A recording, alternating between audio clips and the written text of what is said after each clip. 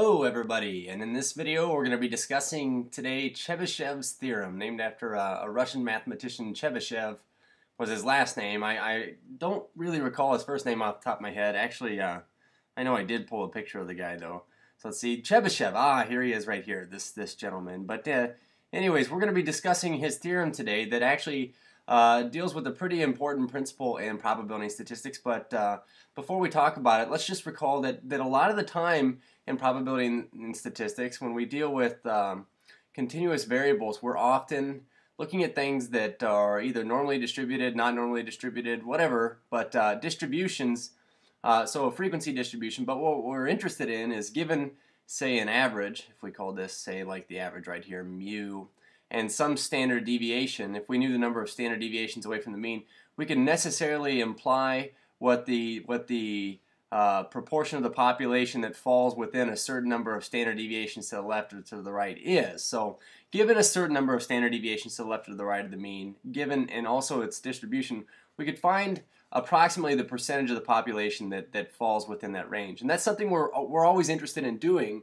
And uh, as a matter of fact, if we're doing this with a normal distribution, which is this one here, is approximately normal, I would say, uh, it's really convenient because what that allows us to do is go and use the standard normal deviation and some z-scores, which necessarily tell us the number of standard deviations away from the mean, and, and tables of calculated uh, values that are that are calculated prior uh, to doing this. Actually, there are a lot of tables available on the internet or in the back of textbooks, but we could use those tables to calculate this. But but the question of the day is this, um, and that is what if we end up with a distribution that is not not even approximately normal, but we have something that uh, necessarily maybe starts off really short here and then necessarily climbs drastically, and then and say maybe the balance of power is here, and then and then it tails off to the right here. We would say this is this is a right skewed set of data where maybe the average falls within right here and of course, there's a certain number of standard deviations, but but still, we might be interested in saying, okay, so so how much of the data falls within a certain range,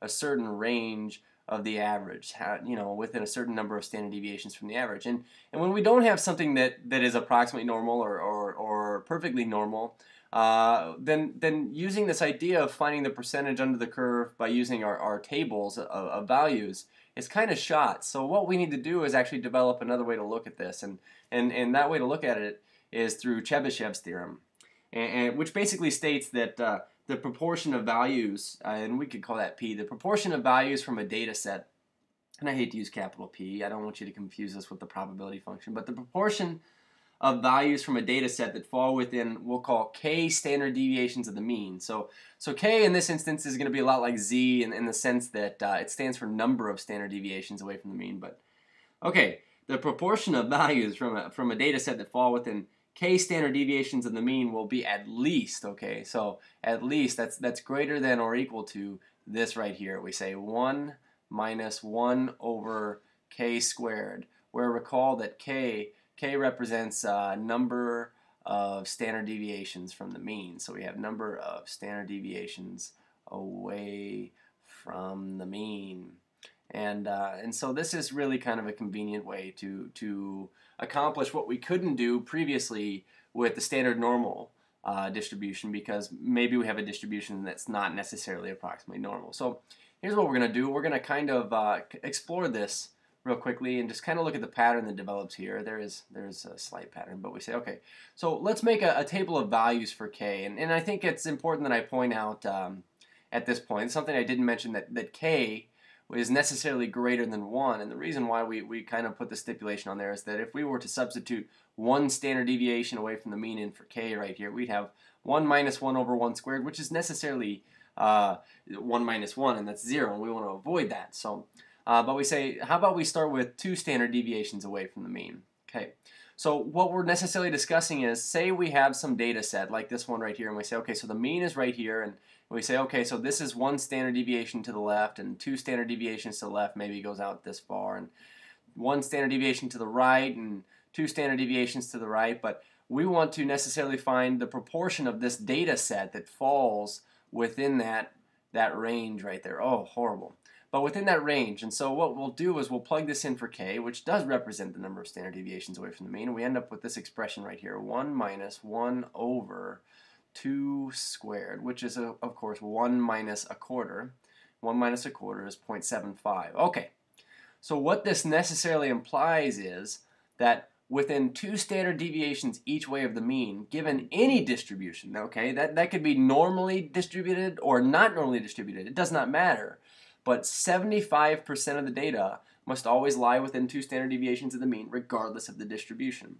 So again, that's the convenience of using Chebyshev's theorem is that we can use this with things that are not necessarily normally distributed.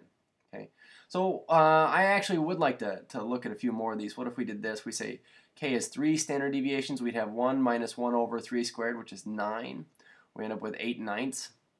8 ninths is a decimal. We get uh, 0.888 repeating, so we're going to call this uh, 0.8889 to go out four decimal places. But what this means is that within three standard deviations of the mean, if we come up here to this last example, within three standard deviations, we can fully expect that about 88.89% of the of the or proportion of the data values fall within three standard deviations of the mean. And uh, why not? We'll go one more. 4. 1 minus 1 over 4 squared, which would be 16, produces 15 sixteenths here. 15 sixteenths, of course, or maybe not of course, but uh, 15 sixteenths in terms of proportion of the data there, we've got uh, 0.9375, so 0.9375. And that's, you know, we can check that on a calculator. But again, this means within three, or excuse me, four standard deviations each way of the mean, we should have 93.75% uh, of the total amount of data given any distribution. Okay, so now that we've kind of looked at uh, what what this necessarily tells us is just saying at least 75% of the data here, or at least 88.89% of the data, or at least about 94% of the data is within four standard deviations of the mean, regardless of the distribution. What we can now do is use this to our advantage to, to kind of work through some problems. So let's start with this one here.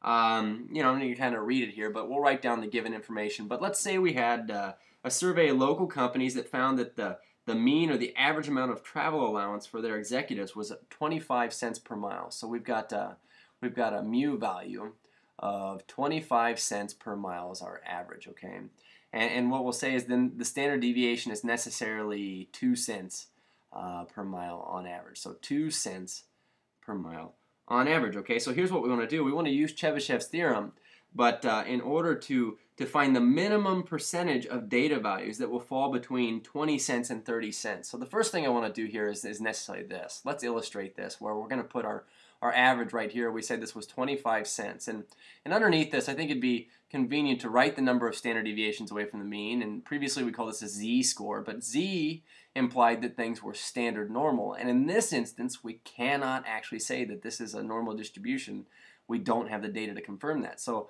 so what we have to do is relegate ourselves to using Chebyshev's theorem. But, but this is a k value, but it still represents the number of standard deviations away from the mean. So zero standard deviations away from the mean. If we go, say, one to the right, this would be plus two cents, so 27 cents. Two standard deviations uh, would necessarily be 29 cents.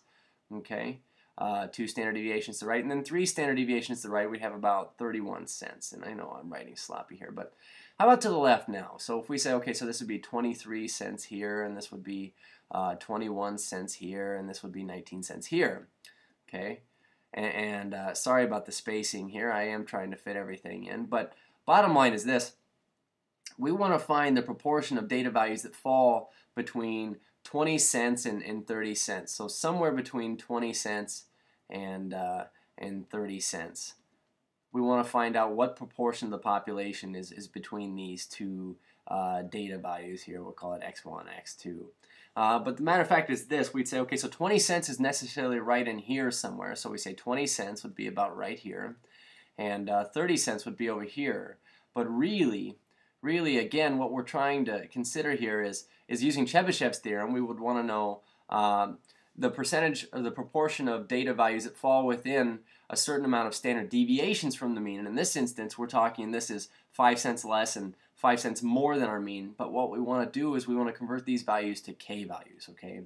Uh, we need to know k before we can evaluate for the proportion of data values that fall within k standard deviations from the mean. So here's what we'll do. We'll pick uh, necessarily say 30 cents here and we'll calculate the k value. Now, since this is uh, k value is finding number of standard deviations away from the mean, the nice thing about that is we could necessarily borrow from our formula for when we calculated z values, which was necessarily the same thing, which was z equals x minus mu, or the individual datum minus the, the mean, all over the standard deviation. And in this instance, we know all our, our, our goods here to calculate this, but we're going to call it k. And so k, k is the x value here in question is 30 cents. So we say 30 cents minus the mean, which is 25 cents.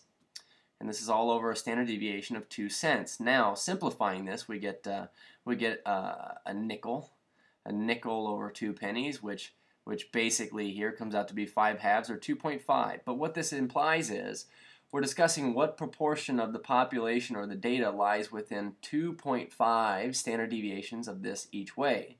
So now what we can do is, using Chebyshev's theorem, we could say, okay, well, it's at least or greater than or equal to 1 minus 1 over number of standard deviations from the mean squared. In this case, we're, con we're considering 2.5 standard deviations. So now simplifying this, we get 1 minus 1 over uh, 2.5 squared is 6.25. And, uh, and necessarily we could, we could simplify this out on a calculator here if, if I can get this fired up. But we say, okay, so if we take 1 minus 1 divided by 6.25, and uh, I apologize for doing my calculations uh, by hand and you can't see them, but it comes out to be 0.84, okay, which now is what we were looking for, which necessarily implies that um, if we were looking for the proportion of data values that fell between 20 and 30 cents, that would necessarily again have been within 2.5 standard deviations each way of this of this mean here of 25 cents, which means uh, plugging that into to, to Chebyshev's theorem here, we've got about 84% or at least 84% of the data must lie within 20 to 30 cents from the mean. So this is just a real quick example on how to use Chebyshev's theorem and, and hopefully that helps you out.